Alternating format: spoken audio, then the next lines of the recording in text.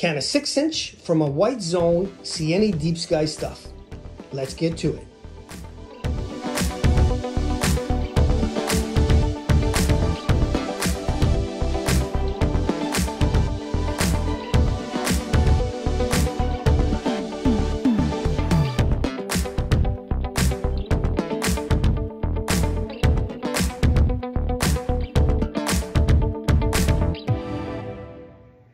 Hey guys, you know it's Joe Jaguar and Joey, okay? And your best friend in astronomy, science, and telescope, well, we hope one of them at least. Right, Joey? Right? Okay. So, here's what I'm going to show you guys today.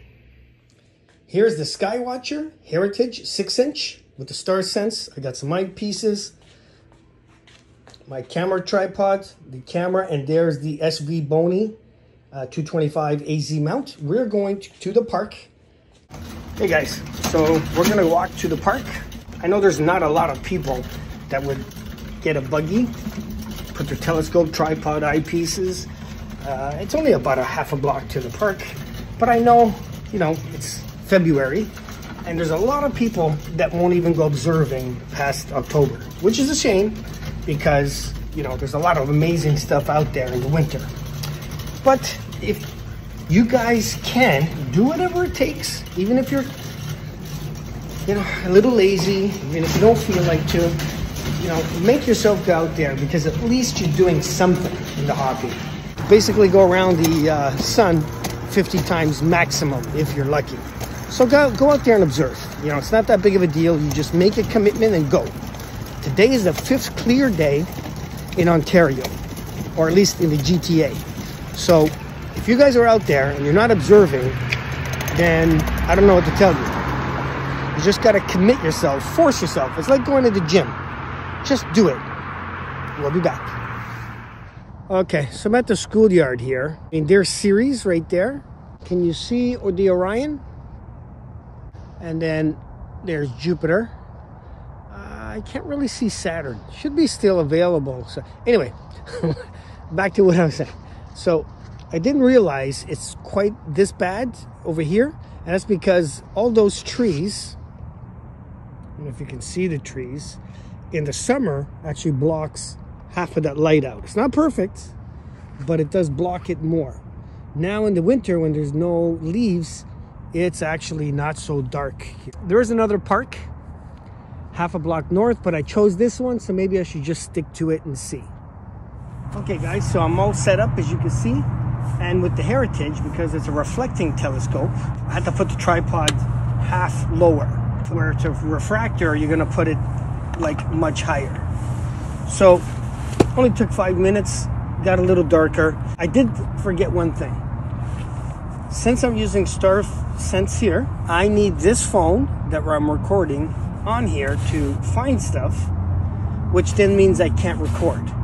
So unfortunately, I'll have to um, use it, and then when I'm done, I'll tell you what uh, stuff I looked at.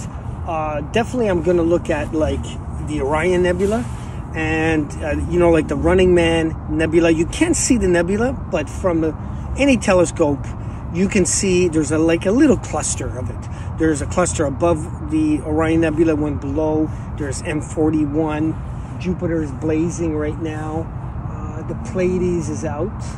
I think I can just see it from here, even though the flash is kind of blinding me. The Hyades, uh, there's M36, 7, and 8. You know, there's a whole bunch of stuff. At least this view here, I got a 360 view, but there is a lot of school lights that's over there. If it wasn't for those, it'd be decent, because I remember in the summer, wasn't too bad. But, you know, you have to do the best you can with these things, guys, and that's it. You'll never have the best opportunity all the time. Sometimes you go to amazing dark skies, like I did several times, and it's not clear. So it's clear, you enjoy. Uh, it's not it's not super cold. It's uh, February, but we've had a warm spell. I think today was about plus three uh, in the GTA Ontario. So we're having a really nice winter. Uh, you know, other people would say, well, that's uh, the climate change for you, but whatever, it doesn't matter. It's a little coolish because it's nighttime, but there's lots of stuff to see. It should be dark enough. But anyway, again, I will tell you what I looked at, and I'm either going to tell you if it was easy, medium, hard, or impossible. So those are the four categories I'm going to break it to. Can a six inch, uh, you know, see deep sky objects from a white zone or a Bortle zone 8.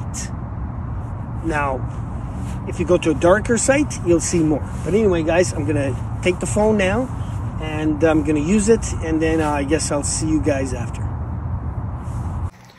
Hey guys, so that's it. That was about only 50 minutes. But you know what? 50 minutes is fine. If you spend an hour, 45 minutes, whatever you do, at least you're doing something in the hobby. But you know what? With the StarSense, you'd be surprised how many things that you can hit. Now, I didn't bring a paper and pen. I have to try to do everything by memory. So I hope I remember everything so I can tell you guys. Um, but just so far, I think there's quite a bit of stuff that you can do from a with a six inch in a Bortle zone eight or a white zone. Even with all these ambient lights, it's not as bad as my front yard with all those street lights hitting in your face. But uh, surprisingly, you could do some decent stuff. Now remember, you're going to scratch off almost all galaxies off your list and almost all nebulas too. But uh, there's still a lot of like open clusters that you can see with a six inch even like this that's portable. And uh, yeah so when we get home as you can see all those lights all those lights over there. So if it was truly dark you could probably even see more. Now the only problem is when you do this type of thing once you get cold because even though I got gloves to touch the focuser to you know do some certain stuff to move stuff. Uh, sometimes i just need to do it bare hands. The, the gloves are too thick to use you know what i mean? But anyway let's wait till we get home and i'm gonna try to remember everything that i pointed to if it was easy or not so easy and will you see it? And remember too even if you're in a white zone a six inch can work but the most important thing is you have to get away from all those street lights or light sources and you'll be surprised what you can do. In the summer, if you ever go camping and that type of thing, then you can look for that, you know, nebulas and galaxies there. Now, it's not going to look like the photos, but at least you will see it. Anyway, guys, I'll see you in a few. Okay, guys, let's get to this. Again, I apologize.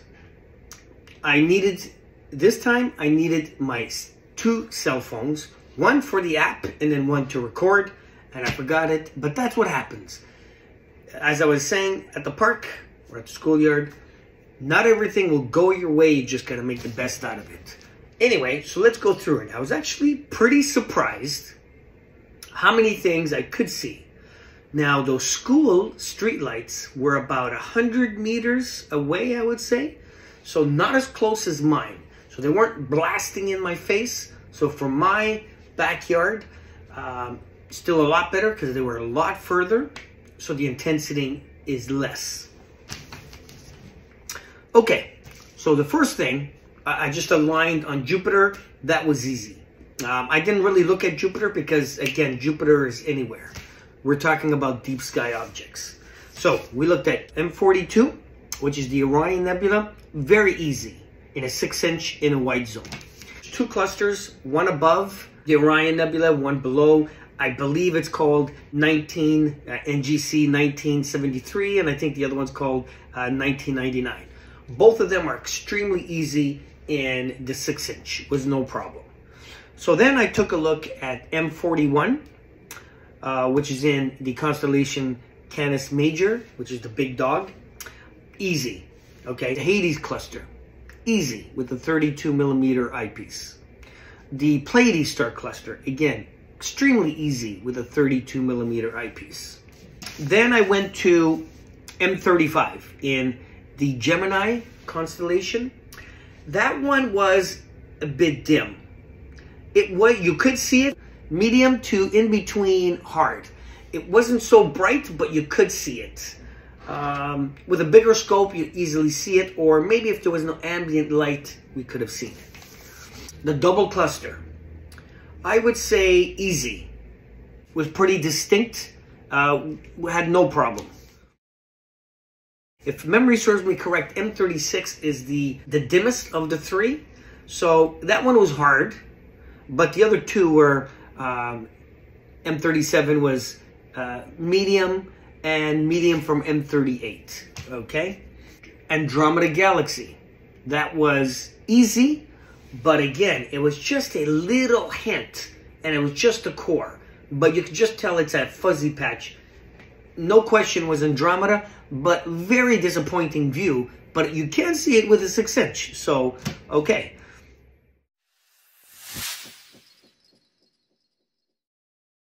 M44, the Beehive cluster, easy. I did M50, and that one I would say is hard. I can't really recall anything else off the top of my head.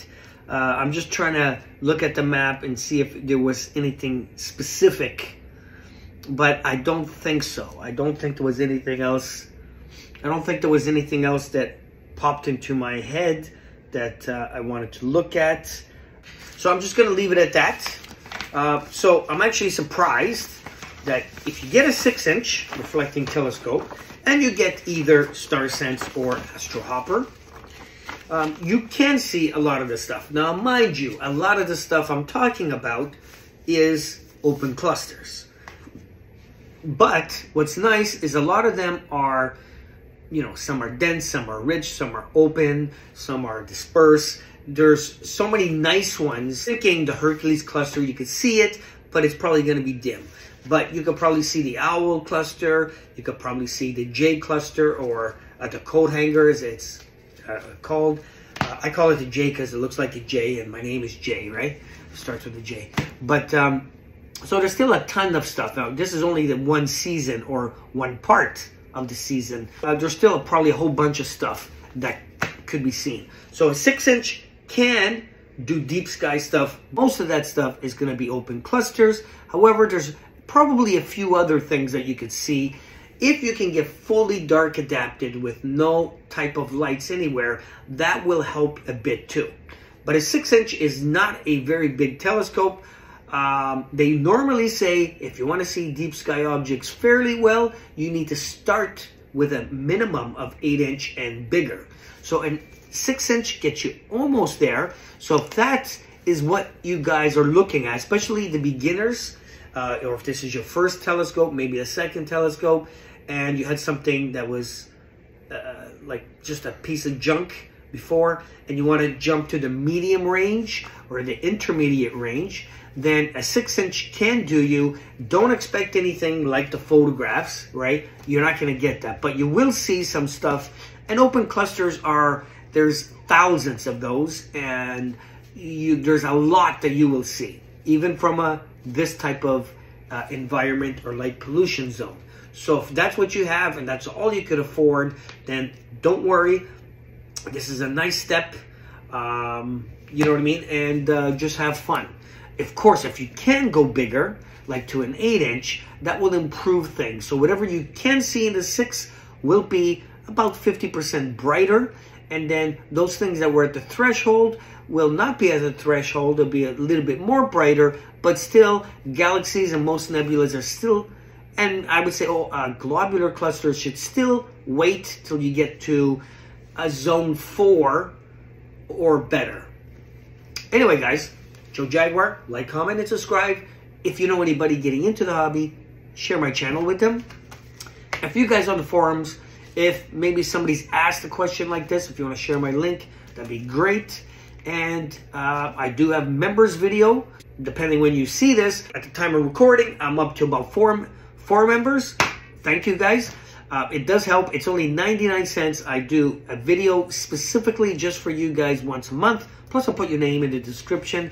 It helps the channel grow since I don't make anything really except the AdSense, which isn't a lot. See you on the next video. Why not you? Why not me?